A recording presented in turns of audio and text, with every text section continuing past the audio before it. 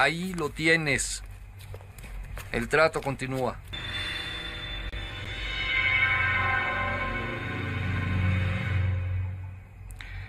¿Dónde está esa cosa? Me ocultaste cosas. Ahora quiero todo. No, no lo está.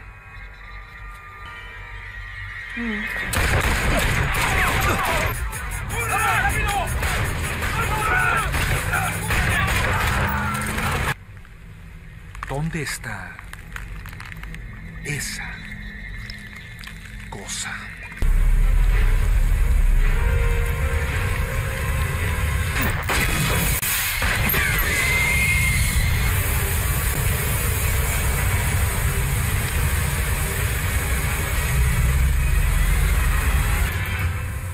No puede ser.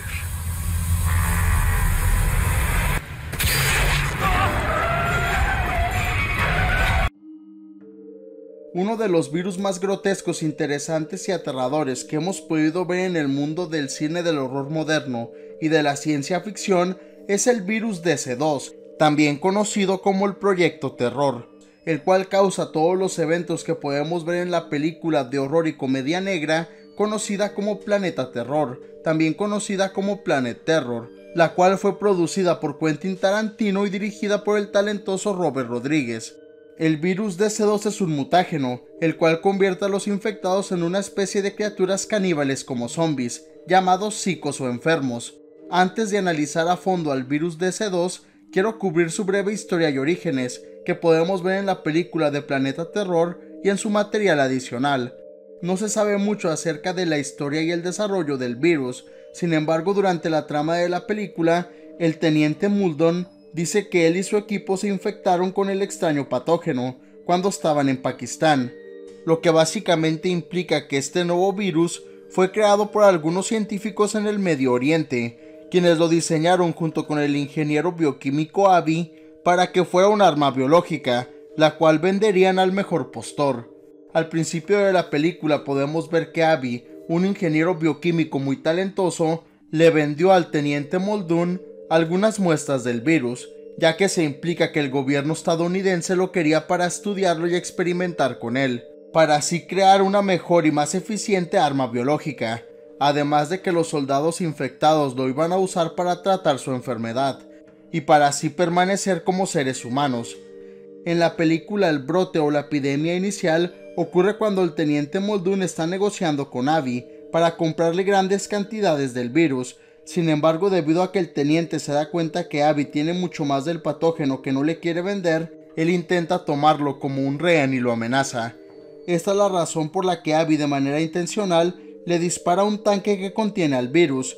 Esto le permite el escapar durante la distracción al hombre. Desafortunadamente el virus de C2 llega al pueblo cercano y convierte una buena parte de los residentes en psicos los cuales son unas criaturas que son una especie de psicópatas devoradores, sedientos de sangre, algo similares a los Crazies o locos creados por el virus Trixie, de la película de The Crazies. Es esto lo que inicia los extraños eventos que vemos en la cinta, debido a que dentro de la base militar subterránea había grandes cantidades de DC-2, se piensa que cuando la base explotó durante el transcurso de la historia de la cinta, el virus escapó y contaminó el subsuelo y los cuerpos de agua cercanos, lo que básicamente inició una segunda epidemia que infectó inicialmente una buena parte de los Estados Unidos y es así como en poco tiempo infectó a casi toda la población humana del mundo.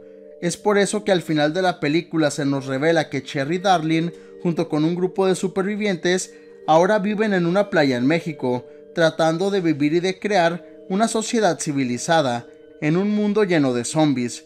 Y bueno, ahora que ya cubrimos a fondo la historia de los orígenes del virus DC2, quiero hablarles sobre sus características únicas, las formas en que se puede contraer, las grotescas criaturas que crea conocidas como psicos y los tratamientos que existen para detener la infección.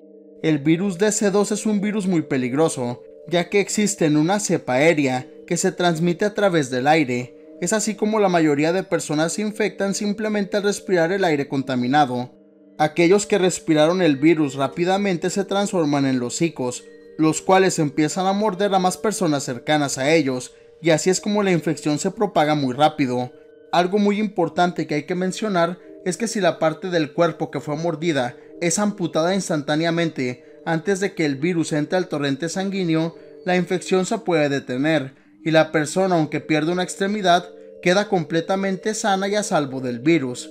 También es importante notar que el virus parece que no se transmite a través de la sangre contaminada con este, ya que durante la película podemos ver que algunos supervivientes tienen contacto con la sangre de los infectados en su piel, y esto en realidad no les hace nada, y no los infecta. El virus DC2 actúa de una manera muy rápida y aterradora, ya que este fue diseñado para que matara a las personas infectadas de una manera eficiente.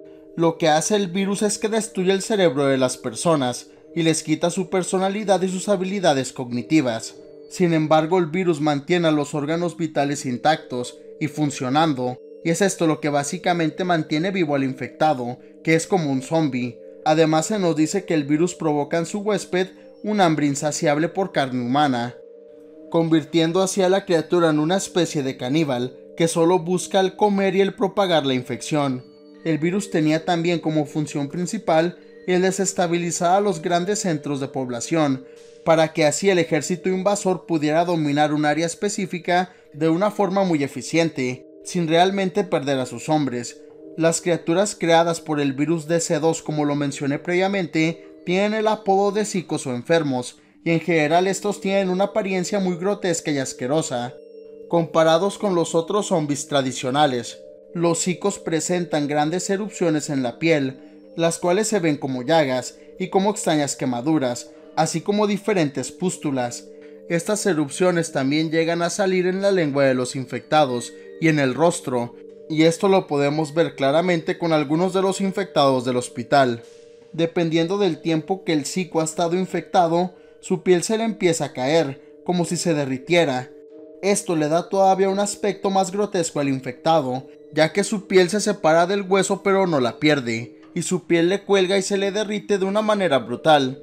Esto lo podemos ver claramente con el teniente Muldoon y con sus soldados, quienes debido a que ya llevaban mucho tiempo infectados, cuando ellos dejaron de respirar el virus DC2 en su forma gaseosa, ellos se convirtieron muy rápido en unas criaturas monstruosas llenas de tumores y erupciones, a los cuales les colgaba la piel de una forma grotesca.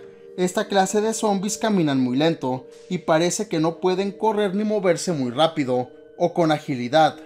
A pesar de esto son extremadamente fuertes y pueden llegar a matar a una persona solo con sus manos, sus brazos, sus bocas y sus dientes, ya que llegan a despedazar a sus víctimas en segundos.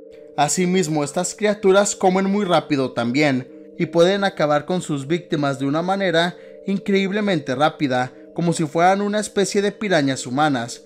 El virus DC2, como lo mencioné anteriormente, se transmite a través del aire. Es por eso que cualquiera que estuviera cerca de la base militar y del pueblo, se suponía que debía infectarse con este. A pesar de esto, algunas personas que estaban en el área no se vieron afectadas por el virus, lo que nos indica que ellos contaban con una inmunidad natural al patógeno.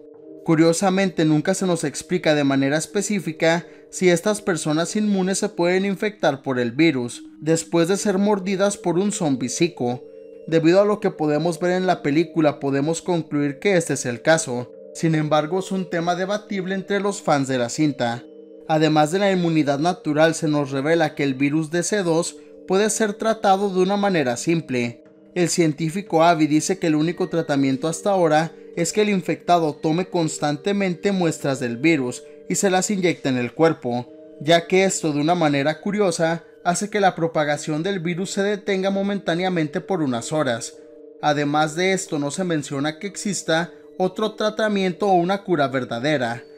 Debido a que Abby muere en la película, y a que él era uno de los pocos que habían estudiado al virus a fondo, la creación de una cura se murió con él. También es muy importante mencionar que el virus DC2, debido a que es un virus extremadamente mutágeno, es probable que evolucionara y que creara nuevas cepas más potentes de sí mismo, las cuales se pueden transmitir no solo a través del aire, sino también a través de otros medios como el agua. Algo muy interesante y aterrador sobre este virus es que durante la infección inicial, el psico aún mantiene su inteligencia y su conciencia, siendo en general todavía humano, pero con el deseo de infectar a otros. Esto lo podemos ver claramente con el Dr. Block, quien de manera consciente busca a su esposa Dakota para infectarla y la sigue durante casi toda la trama de la película. Asimismo, esto lo vemos con el hombre infectado del hospital, quien ataca al Dr. Block con una sierra y luego lo infecta con el sarpullido de su rostro. Lo más aterrador de todo esto es que los psicos pueden hablar y pueden comunicarse con los humanos. El director del filme, Robert Rodríguez, comentó sobre el virus de C2 y los psicos lo siguiente. Yo tomé como inspiración a la película clásica de George. Romero, conocida como The Crisis, junto con otras películas italianas antiguas del mismo género, que usaron un concepto similar en sus infectados y en sus zombies. Específicamente me inspiró la película italiana llamada The City of the Dead, la cual es muy similar a mi película Planeta Terror. El director de esa película junto con las otras solía decir que los infectados en esa cinta específicamente no eran realmente zombies, ya que no eran específicamente muertos vivientes y solo eran personas infectadas y con un aspecto inhumano. Yo pienso que esto realmente es un subgénero de las películas de zombies, y aunque se nos explica que los infectados no están realmente muertos, yo creo que sí son zombies a pesar de todo. Técnicamente bajo la definición de Romero, no son zombies, pero los podemos llegar a ver como zombies de igual manera. Nuestro nombre en la película para los zombies es psicos o enfermos, y todos estos infectados y enfermos se hicieron así por un virus que algunos soldados se trajeron al occidente de la guerra de Irak. Debido a que los psicos cuentan con su cerebro que está muerto y solo buscan el comer e infectar a las personas sanas, yo los considero zombies. El director Robert Rodríguez también mencionó que la idea para hacer la película de Planeta Terror la tuvo durante la producción de la película de la facultad o aulas peligrosas. Él dijo que un día mientras grababa su película acerca de una infección extraterrestre, él tuvo la idea que aunque las películas de zombies ya no eran muy populares, estas iban a revivir entre los años 2000 y 2010. El director comentó que él escribió un libreto para su película de zombies de 30 páginas, el cual era la introducción de la cinta, y tenía los conceptos básicos del virus y sus zombies, Desafortunadamente Rodríguez se ocupó en otros proyectos, y aunque su predicción fue correcta y las películas de seres como zombies ganaron mucha popularidad, no fue hasta que el director Quentin Tarantino creó el proyecto de Grindhouse con Rodríguez que este proyecto de zombies se empezó a solidificar. Es así como los dos directores trabajaron mejor en la historia y la perfeccionaron, desarrollando un poco más a fondo los conceptos del virus de C2 y de los zombies, manteniendo las ideas originales de Rodríguez sobre que Planeta Terror iba a ser una película de horror y comedia muy parecida en esencia de Crisis y a City of the Dead, siendo básicamente una parodia de estas dos películas clásicas del género del horror. Por último, Rodríguez mencionó que él llamó al virus DC2 como el Proyecto Terror en honor a un programa de radio que tenía un nombre parecido que se transmitía en su ciudad natal de San Antonio, Texas, durante los años 70 y principios de los 80. En general, Robert Rodríguez utilizó en su mayoría efectos prácticos para crear a los psicos, con la ayuda del maestro de los efectos especiales Greg Nicotero, quien ha trabajado en muchas películas y series de televisión de horror, creando el maquillaje y los monstruos. Es por eso que los zombies se ven tan geniales realistas y muy grotescos. Y bueno, eso es todo lo que sabemos acerca del virus DC2 de Planeta Terror.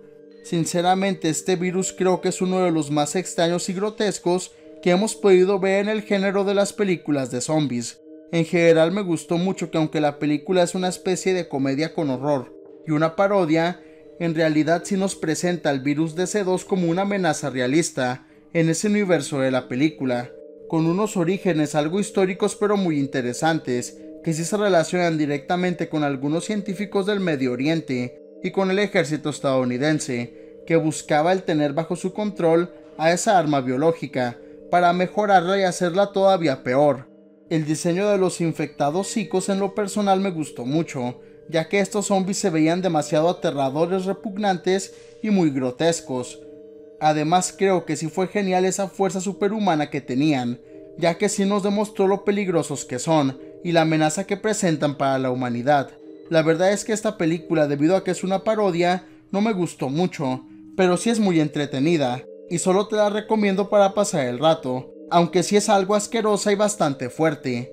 No te la recomiendo para nada si eres menor, ya que tiene algunas escenas algo fuertes, grotescas, muy asquerosas y muy vulgares.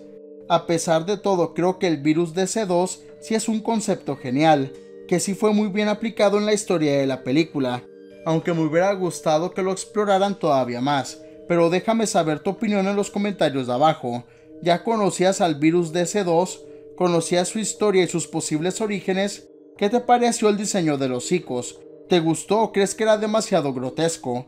Y por último, tomando en cuenta la forma en que el virus actúa y mata el cerebro de las víctimas, ¿tú cómo ves a los chicos? ¿Los consideras zombies verdaderos o no?